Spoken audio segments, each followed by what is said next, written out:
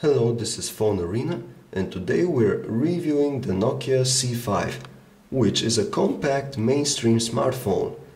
It packs some really neat features like a 3.2 megapixel camera with LED flash, access to Ovi Store, free turn-by-turn navigation with Ovi Maps, and of course uh, the possibility to install a lot of third-party applications for the Symbian S60 3rd edition operating system.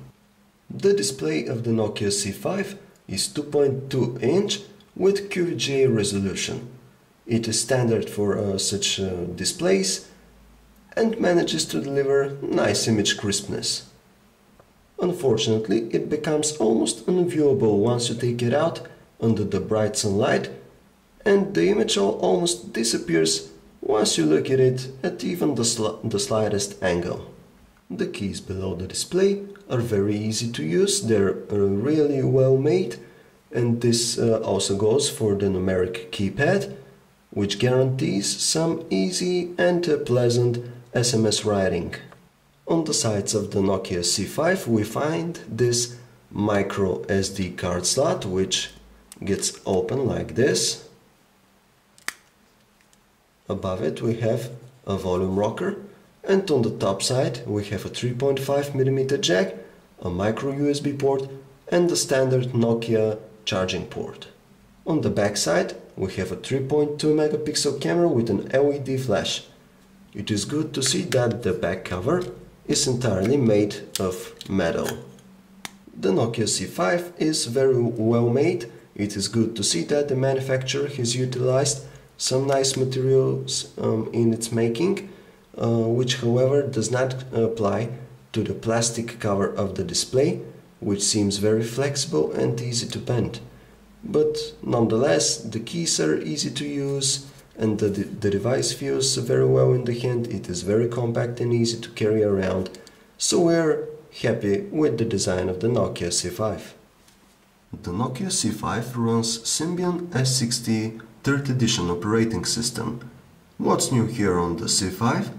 Is that it integrates your phone book with your Facebook profile. What this does is to apply the pictures of those contacts who you have as friends in Facebook and who also have entered their phone numbers there.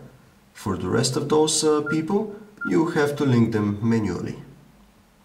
At the upper end of the home screen you have this contacts bar which is for your favorite contacts. From here you can quickly dial contact send them a text message or view their RSS feed. Here you have quick access to calendar and email. And here at the bottom you have shortcuts to your favorite apps. Here is the main menu. It is standard 3x4 grid. Let's take a look at the calendar. Uh, in this field here below, you see the created events for each day. The event itself is created by clicking Options and New Entry. Here are the different types of uh, entries. For example, you choose Meeting and now you can enter standard details like title, date and time, uh, alarm and repetition schemes.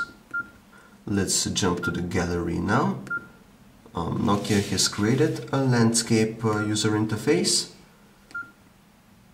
and these animated transitions.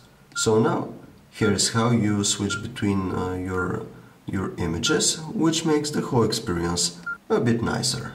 The C5 also comes preloaded with quite a few apps. For example, you have a Facebook client and you also have these productivity tools like Adobe PDF and Quick Office, uh, which will let you work with Microsoft Office files However, the app comes without a license, so you'll only be able to view files.